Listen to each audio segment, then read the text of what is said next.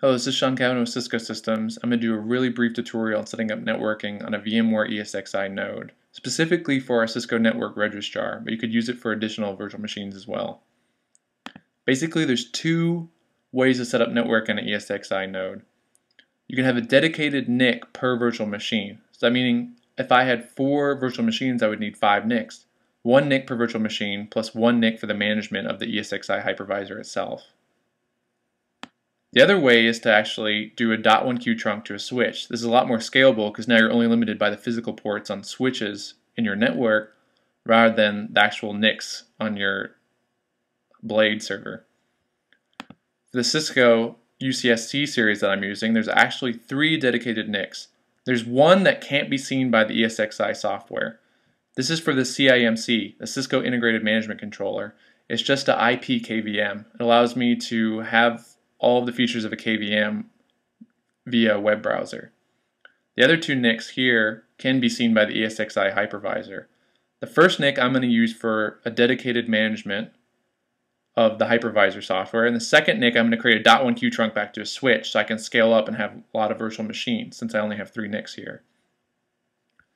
I've already connected using vSphere client to my particular node, and I'm just going to show you how to set up networking real quick.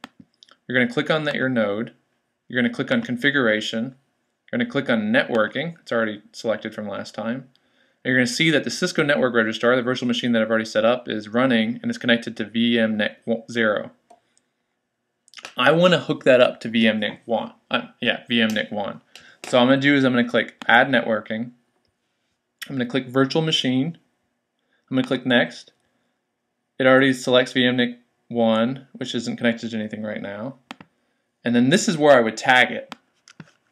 I'm just going to name it something. This, this network label doesn't matter. It's just for the ESXi software. I call it my internal lab network.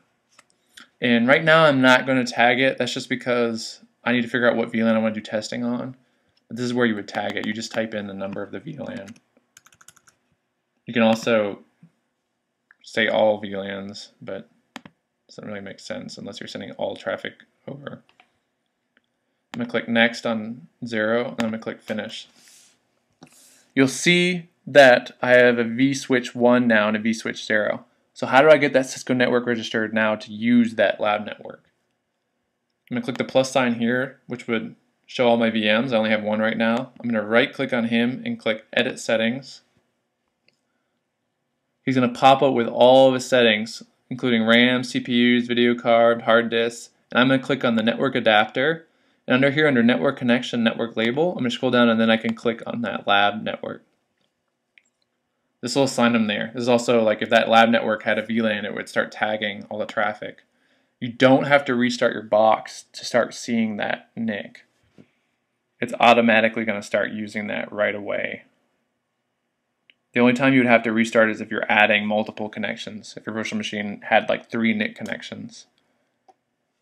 Now, if I wanted to actually add more, you just go to Add Networking, and you can keep using VMNIC1, but each time you're going to decide what VLAN you want to put it on. So you're going to click NIC1, and then you're going to tag it here. I can do like 10 just to show you how it would work. And you're going to click Finish you'll see that there's a second VM network too. I could have named it something else, and then I'm tagging it. So if you had a trunk to VMNIC1 from a switch, it's just going to have all these little tags coming in, and then you can do a switch port mode access on your switch, and you can access that virtual machine from another device. Now to actually set up networking on the Cisco Network Registrar, I'm going to go ahead and go to the console. I'm going to click Configure Network. I'm going to say, um, no, I don't want to do DHCP. I already have the IP address plugged in from last time, so I'm just going to accept, accept, accept, accept, accept, and say yes, this is what I want.